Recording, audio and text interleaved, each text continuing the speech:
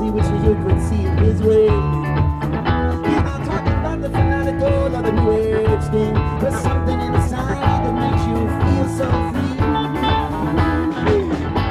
Makes you jump for joy, makes you see the light, makes you wanna get back.